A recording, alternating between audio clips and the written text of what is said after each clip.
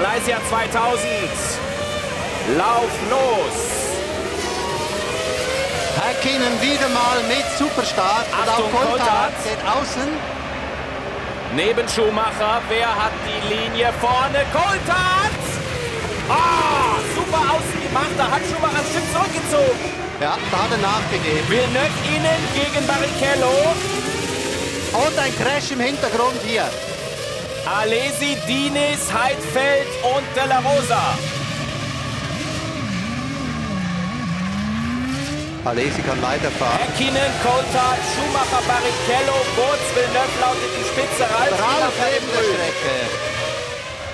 De La Rosa hat das Vorderrad ab. Verstappen Der hat gewendet hier.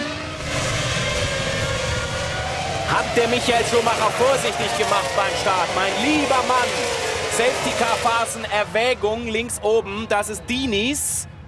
Wegen Oh ja, dieses das, Autos das hier. Auto mit dem kaputten Vorderrad ist natürlich schlecht wegzubringen.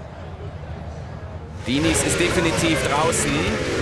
Aber De La Rosa. Und es könnte einen Frühstart gegeben haben. Das wird jetzt untersucht. Nach wie vor Racing an der Spitze.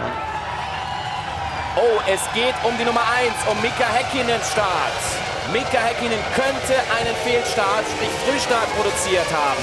Es ist aber, Angriff. genau, es ist nur erwogen. Angriff gegen Coulthard von Michael Schumacher.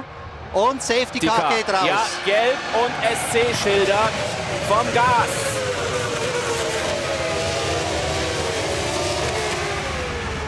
Hier geht das Auto raus. Ja, De La Rosas Auto Ja, kann man ja. wohl nicht wegschieben. Und er steht natürlich genau auf der Ideallinie. Ein Jordan ist hinten in die Box geschossen. Nutzt die Phase, beziehungsweise so geht vielleicht weniger Zeit verloren. Das ist Frenzen.